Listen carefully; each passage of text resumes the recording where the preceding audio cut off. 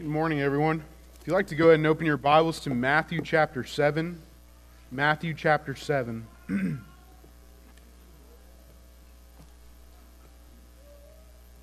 Thankful for everybody's presence this morning. If you're visiting with us, we want to tell you thank you for coming to be with us to worship God this morning. We hope that you can stick around so we can get to know you.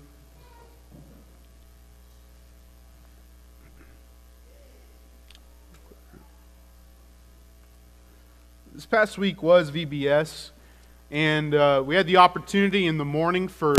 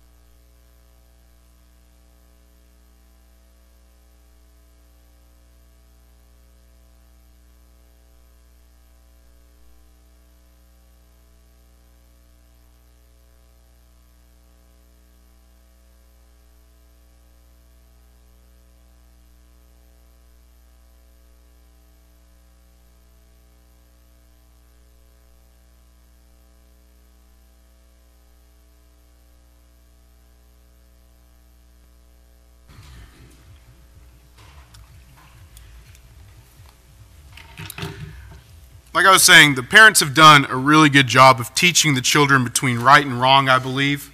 I believe that even if the kids themselves don't always do right, if it's hard for you to believe that when they're at home, they're talking back to you, they're not cleaning their room as they should, it may be hard to believe, but I believe that the parents have instilled in the children at least a desire to do good.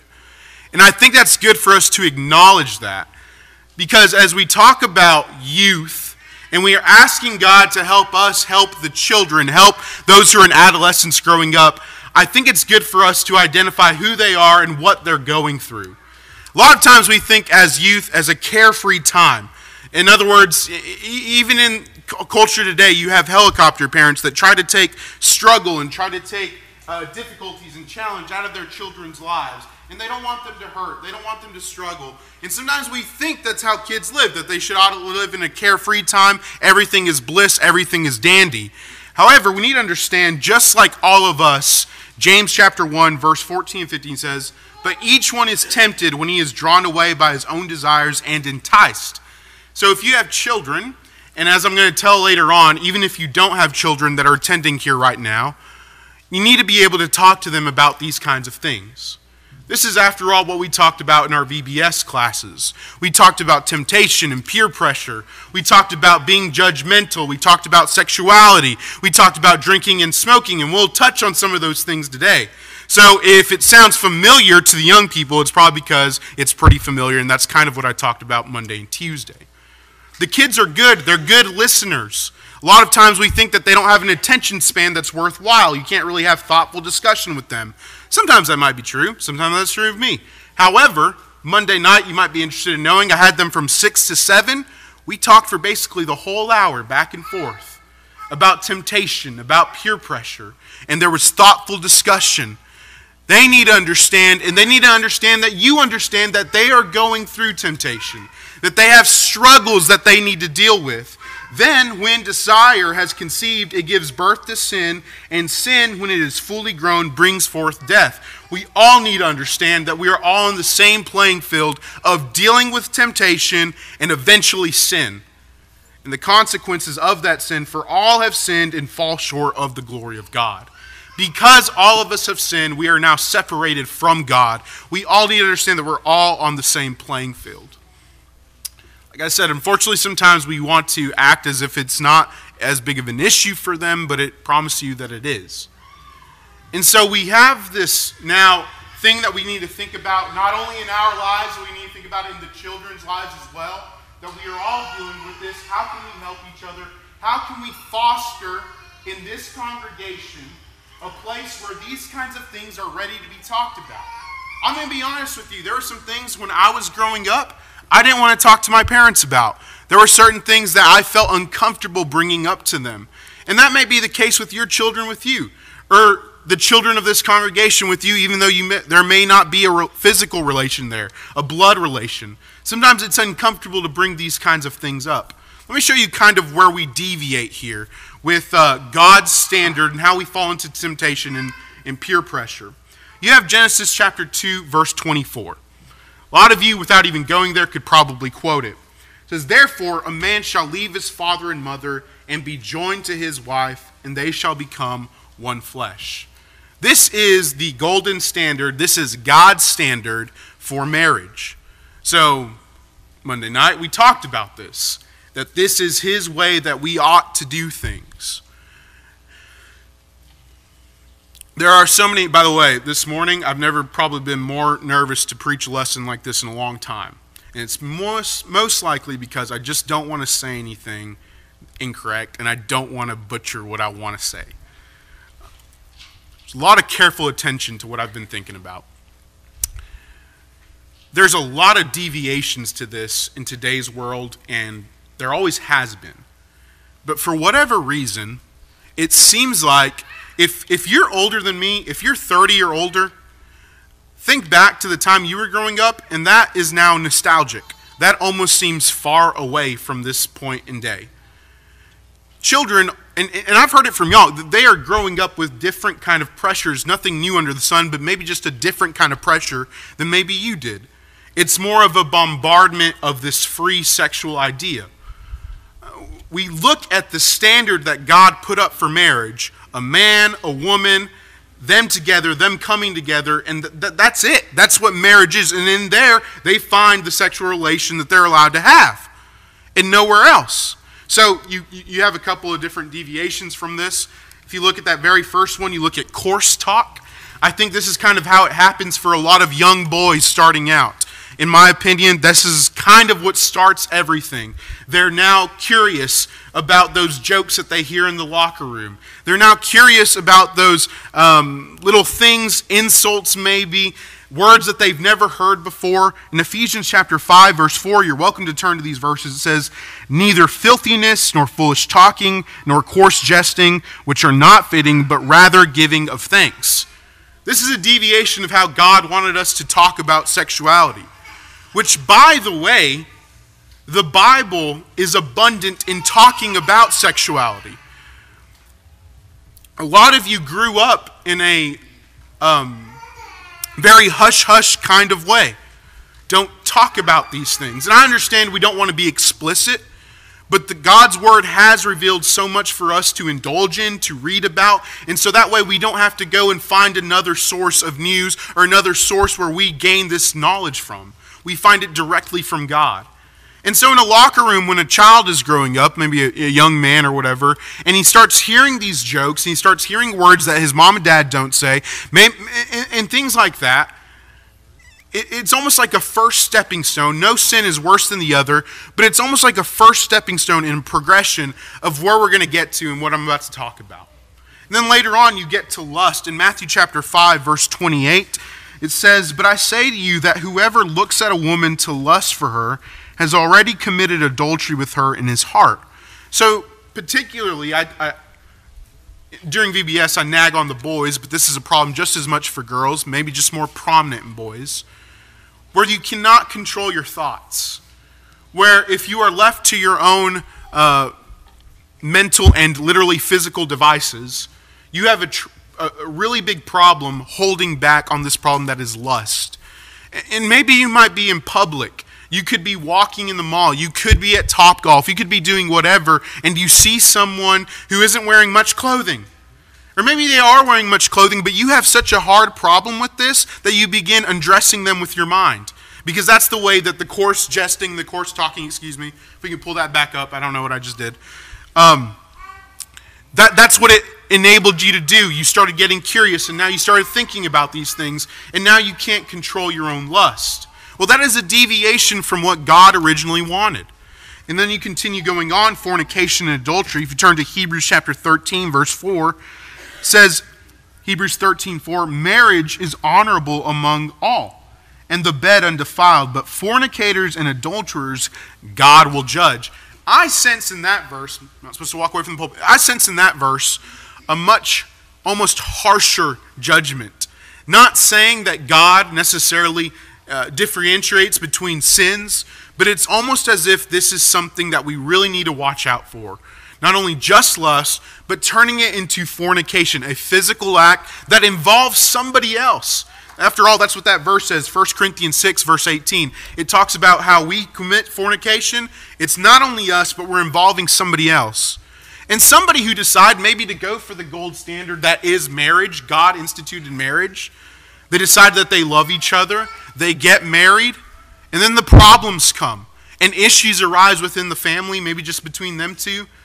And one of them begins to look for a boyfriend or girlfriend.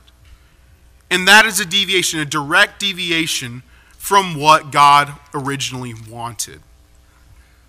And then we press now further to a really big, hot topic question at hand. And that is the question over homosexuality.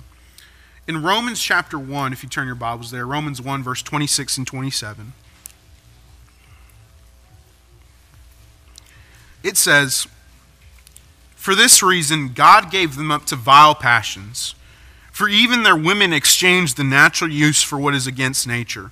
Likewise, also the men, leaving the natural use of the woman, burned in their lust for one another. Do you see how all these things are involved?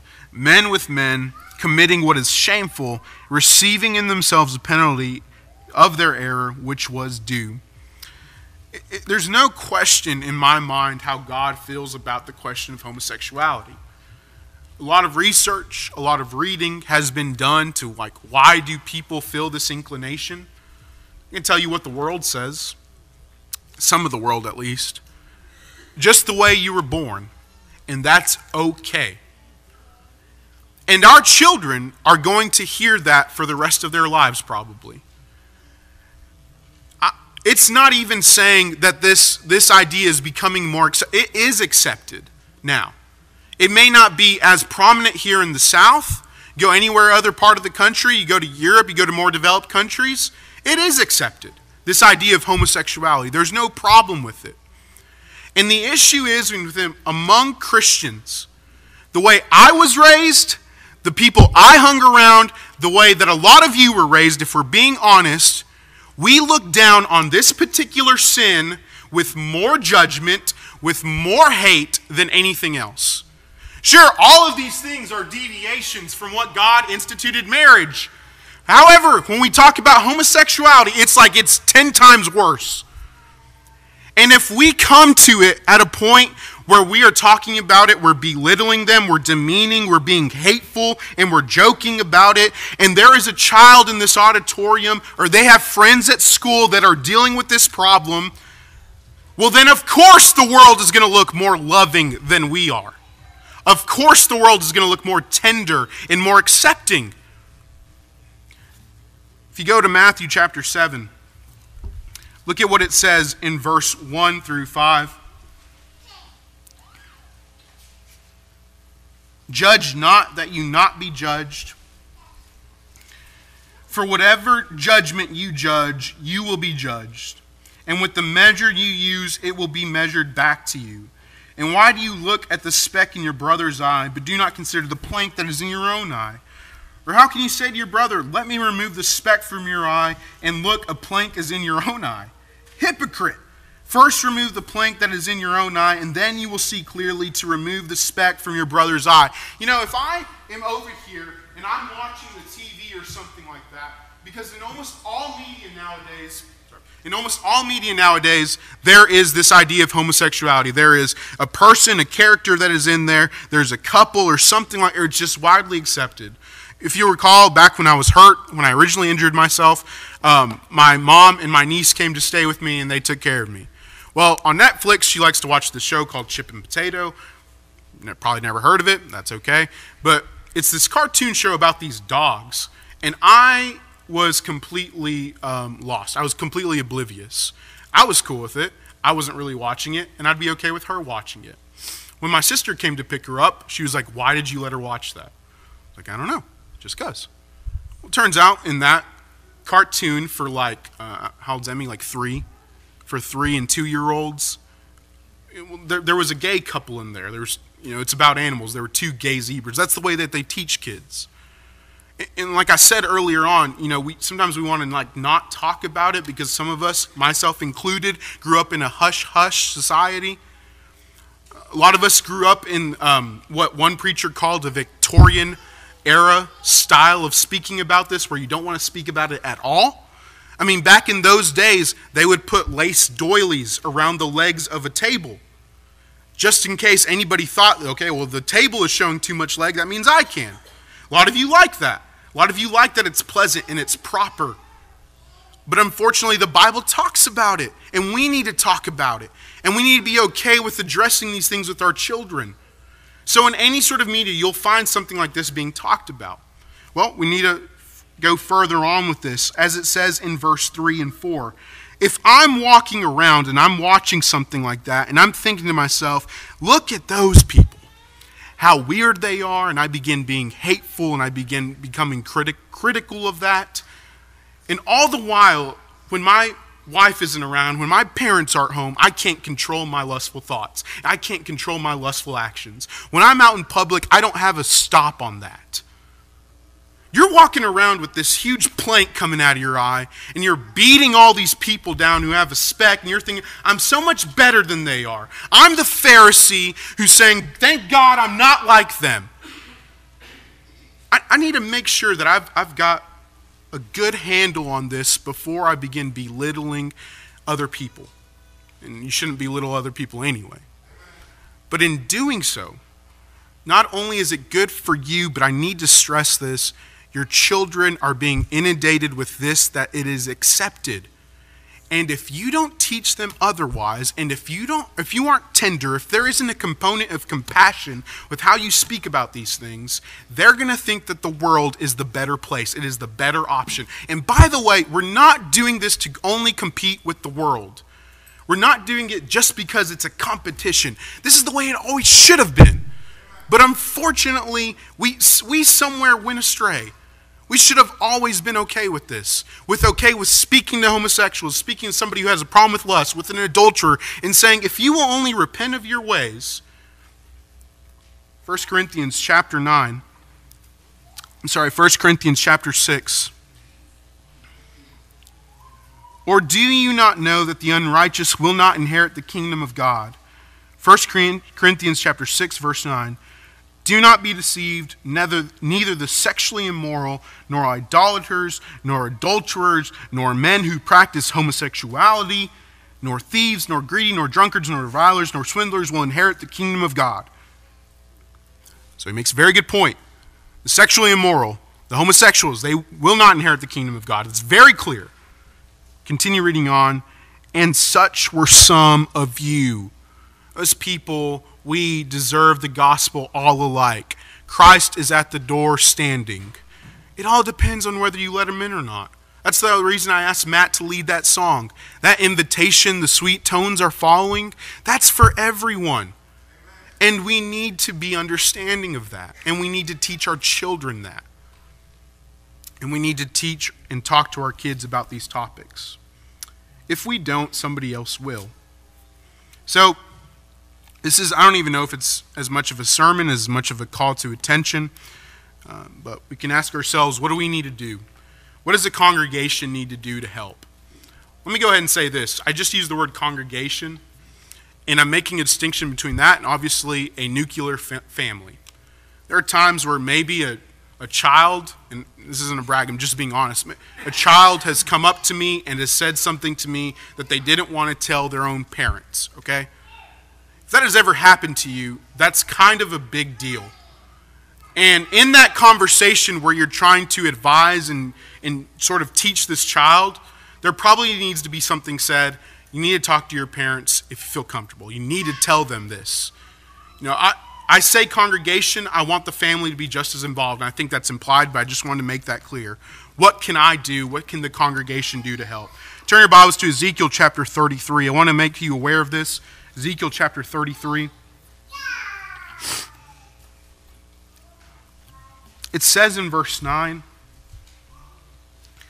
Nevertheless, if you warn the wicked to turn from his way, and he does not turn from his way, he shall surely die in his iniquity, but you have delivered your soul. I'm just re emphasizing a point here that you need to have these conversations. It is a God given commandment to have conversations with the sinner, no matter what it is. But especially, this may not be a sinner, but a, a, a teenager who has these doubts, has these insecurities, is questioning perhaps their own uh, preferences and sexuality. And if a parent or a, a loved one is unwilling to do something like that, they're going to find that information somewhere else. And in doing so, this is your God given commandment to give instruction where you are wiser. And you say, Look at God's word. It has already explained it for us. Let me show you better. There needs to be an environment in this congregation where we're okay with talking about these things with other folks. Look at what it says in James chapter 1. Turn your Bibles there. Or in James chapter 5, I'm sorry. Very ignored passage of the Bible. It says in James chapter 5, verse 15 and 16. And the prayer of faith will save one who is sick, and the Lord will raise him up again and if he has committed sins, he will be forgiven. Therefore, here is the admonition confess your sins to one another, pray for one another, that you may be healed. A prayer of a righteous man has great power as it is working. This, this is what it has to be that there are people who are constantly asking and praying for one another. You know, like I mentioned, the past four years I've been teaching the teenage VBS class. And to a lot of people, um, in, in public, they kind of see me as a different kind of person, and I'm not bragging, I'm just being honest. Like Monday night, somebody brought a friend here, and they were explaining to me how they were explaining to somebody else who I was, and they called me the youth pastor. I'm no pastor. Anytime that's brought up, I try to explain that. That being said, I understand the confusion. That's how a lot of denominations do it. There's a young guy, I'm young. There's a lot of young children. Well, then it's just kind of common that you smash them together and you try to help each other out. That's kind of the idea there. However, it's not like I'm bearing some huge burden, but let's be honest, I, I don't need to be the only one. And, and I think you guys know that, and I'm not trying to brag, but I think you guys know that. There are other members in this congregation, like both the Lees, who try to help out and try to speak with these children. But there needs to be a connection with them, a deeper connection. Because if there's not, there, who else will they turn to other than psychology, the world, what they see on TV, what they see on TikTok and on Instagram? That's what they're going to think is their best friend if they don't have good, strong Christians there to advise them. And when we talk to them, just like I was talking about the idea of being judgmental, when we are dealing with our own sin, there has to be mercy and there has to be love. Look at what it says in 1 Corinthians chapter 13. Turn your Bibles there, please. 1 Corinthians 13.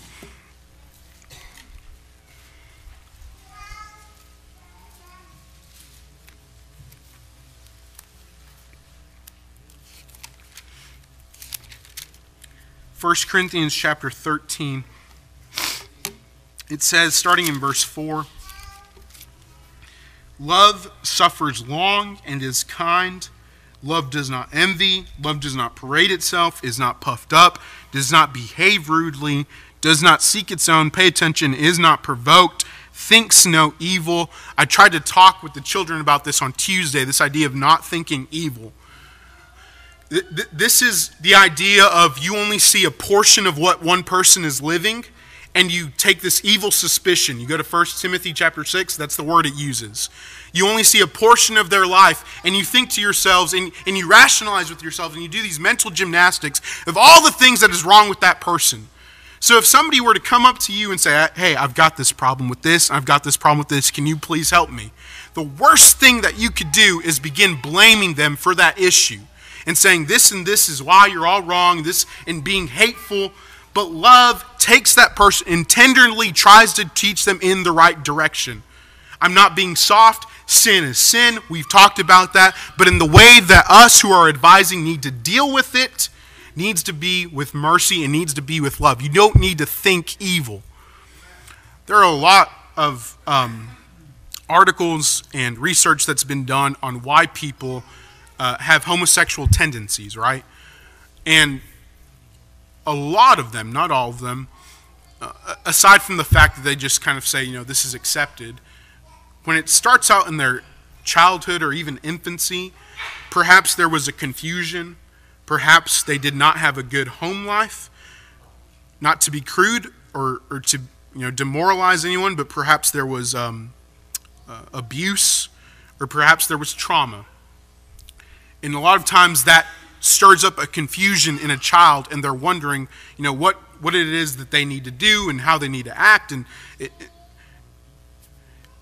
and so we don't know a lot of times what's going on in people's lives. We, we don't need to look at them and, and, and think only evil. That's not what love does. And if you continue reading on, verse 7, love bears all things. And, and that's probably the best thing right there. That you're willing to help anyone out, even if, and like I mentioned earlier, I was raised a certain way, and I know a lot of you were raised a certain way. You bear and you endure those things, and you tell yourselves that's not the way things ought to be. And finally, if you turn your Bibles to first or Galatians chapter 6. Galatians chapter 6.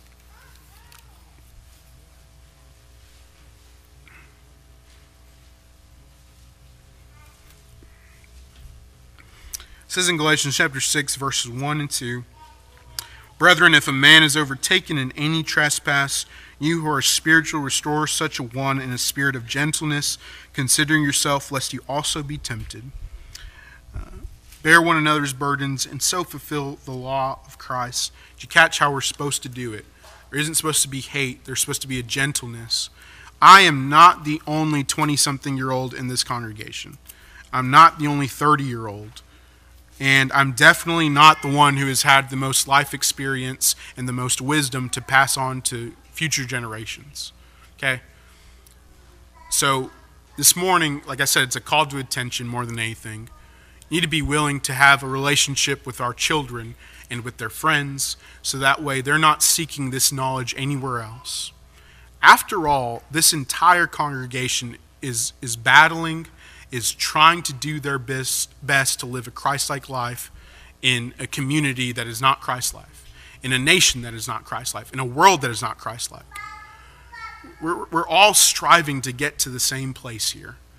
And if I need to lend a helping hand to a brother or sister, or maybe someone who's not even there yet, then I need to be willing to do so, even though that goes against my own rationalities. I began living for Christ, and I don't listen to myself anymore. I need to have that kind of attitude, and that we're all trying to get to the same place and to lend a helping hand. This morning, if the lesson has been helpful for you, I hope it has, and you need to make changes in your life, I hope that you do so. I want you, as we go into the next portion of the service and we begin to sing about uh, a land far away where the soul never dies, I want you to think about how there's less complications there. What I just talked about gave me a lot of nerves this week to talk about it. I would like to live in a place where there are not that many complications, where I'm with God, and that's what I need to worry about. It's what I need to worry about on this earth, so I want to look forward to it. Sing along as we stand, sing a song that's been praised.